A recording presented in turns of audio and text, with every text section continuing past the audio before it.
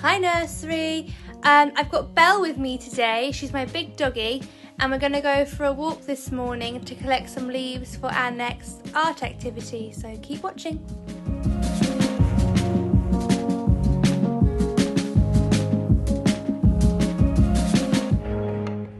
Whilst we were out collecting leaves, we saw lots of lovely animals, such as these ducklings, and lots of lovely trees and flowers. There was pink ones, and purple ones, and yellow ones, and white ones.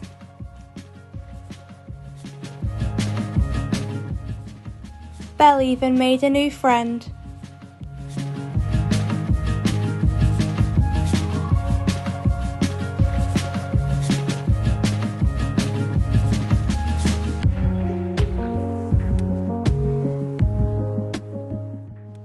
Whilst we were out on our walk, we even saw some sheep and some baby lambs.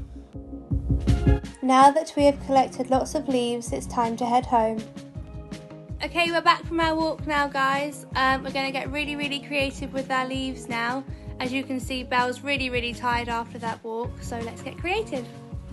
So for this activity, you're going to need some paint, a piece of paper, some sponges. I've just cut up a normal cleaning sponge into four and some leaves, which will help us to create an effect like this. So to start off, choose which leaf you're going to use first and hold it down with one hand and then use the sponge around the edge with the other. You don't have to hold it down with your hand if you don't want to. You could always get a piece of tape or some Blu Tack to hold it down. I just used a hand because it's easier for me. Keep on doing this until you've filled your page. This is a super simple but creative art activity.